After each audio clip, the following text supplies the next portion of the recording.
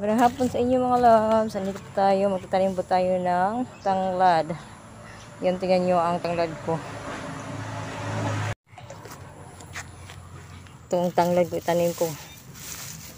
Nakalimutan ko kasi itanim to kaya ayun ang resulta. Sana mabuhay pa to. Yan.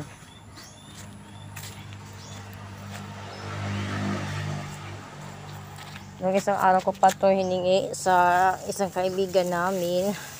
Pero nakalimutan kong itanim to kaya ito ang resulta. Ah, palapit ng mamatay. Sana mabuhay pa to, no? May ah, ugat pa naman. Okay.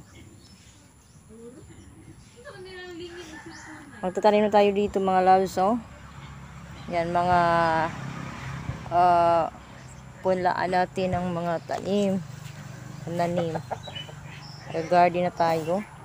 Kasi kailangan ng mag-garden. Um, mahal na kasing mga gulay. Pati mga prutas, nagsimahala na rin. So, take time na mag-garden-garden tayo sa ating mga lupang bakanti o di kaya sa mga uh, mga lata dyan sa inyong mga bahay kung meron kayo di mga gulong na pwedeng mapakinabang. So ayun. Kailangang magtanim na